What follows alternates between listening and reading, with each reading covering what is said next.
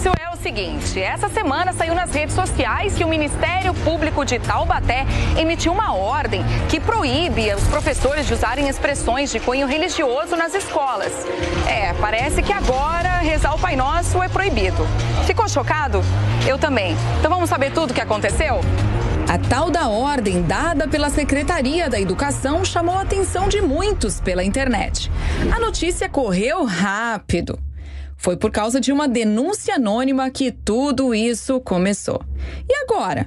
Falar Deus te abençoe é proibido? Ó, estou entrando aqui no Ministério Público de Taubaté para conversar com o promotor que recebeu essa tal denúncia anônima. Vamos lá?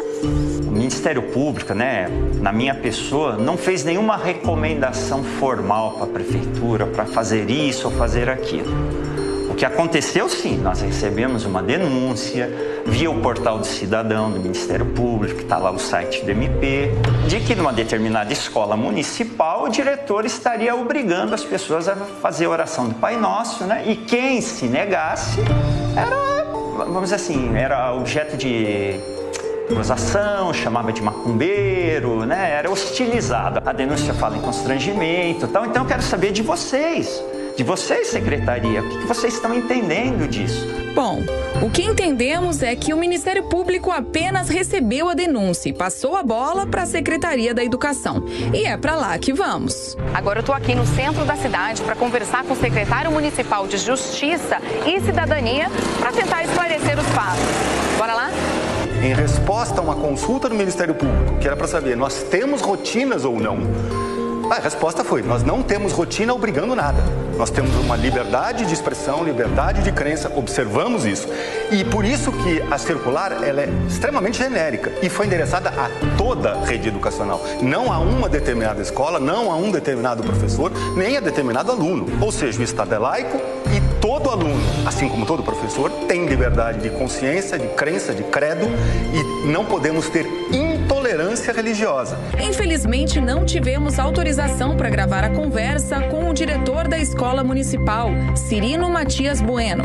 Longe do microfone, Jones falou que nunca teve problema com a rotina de fazer oração com todos os seus alunos. Disse, inclusive, que quando recebeu a circular e deixou de fazer o rito, foi questionado por eles e teve até pedido para voltar a fazer a oração antes do início das aulas rotina que há anos já era feita pelos educadores. Pelas ruas da cidade, os cidadãos demonstraram revolta com a decisão da Secretaria da Educação. Ah, eu acho que isso é errado, né? Nem exagero, já é erro do governo. Porque nós devemos orar, né? Ter uma comunicação com Deus toda religião, para você ver, toda religião bota Deus em primeiro lugar. Ah, eu acho que é uma decisão errada, porque isso daí é, vai de cada, de cada aluno, de cada. da educação do aluno, né? Que vai permitir se ele vai optar ou não por aquela oração, né? Isso é um absurdo, né? Nós parece que nós estamos em outro planeta, né? É um absurdo. Como é que uma escola não pode? Eu acho, eu sou contra, completamente.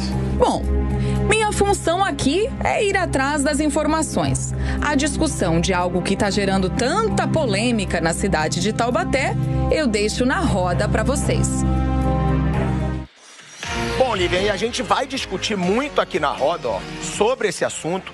Tô também no telão com o deputado Marco Feliciano, que também é pastor, para falar sobre toda essa situação. E eu vou começar já perguntando, direção, chama o Marco Feliciano, já posso chamar aí, ó, o Marco Feliciano. Então, Marco, primeiro, boa tarde, obrigado por estar participando aqui do Tá na Roda. Agora, já chegando com um assunto bem delicado, né, Marco? Porque não é uma proibição da Secretaria de Educação, mas sugerindo uma circular sugerindo que não sejam usadas expressões de cunho religioso nas escolas de Taubaté. O que falar sobre isso? E depois eu vou trazer também para a roda esse debate. Eu achei muito exagerado, dando a minha opinião, já que às vezes eu sempre me excedo um pouco e falo. Acho que a religião faz parte, principalmente numa escola onde você aprende valores. Marco, o que falar sobre essa situação de Taubaté? Boa tarde, obrigado por estar com a gente no Tá na Roda. Boa tarde, pessoal do Tá na Roda. É uma alegria estar participando aqui. Muito obrigado aí pela, pelo convite. Mandar um abraço aí para o Felipe Campos, meu grande amigo de longa data, acho que foi ele que me indicou. Felipe, saudades de você, viu?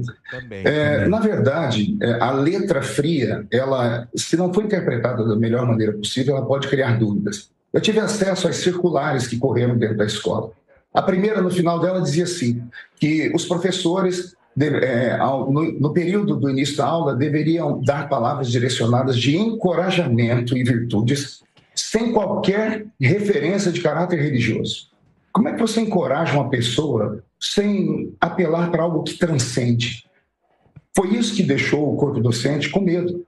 Porque se você vai encorajar um aluno, você vai dizer, olha, seja bem-vindo, que esse ano seja muito bom, que Deus te abençoe, que Deus te, te ilumine, que o seu caminho seja iluminado por algo que transcende. Então foi isso que aconteceu ali. E quando isso aconteceu, mexeu com os ânimos de toda a população. Nós vivemos num país onde 60% da sua população é católica, 30% é evangélica. Católicos e evangélicos são 90% da população brasileira. Todos acreditam no Pai Nosso, todos acreditam em Deus. Então a maioria não pode ser esmagada por um pensamento de uma minoria. A confusão do grande Estado laico é essa. As pessoas sempre usam o Estado laico como sendo uma, uma espécie de bloqueio para que Deus seja lembrado. E não é isso. O Estado laico não é o Estado laicista. O Estado laicista seria o Estado ateu. O Estado laico não é o Estado cético, que não acredita em nada. O Estado laico é o Estado que dá ao cidadão o direito dele acreditar no que ele quiser, inclusive não acreditar em nada.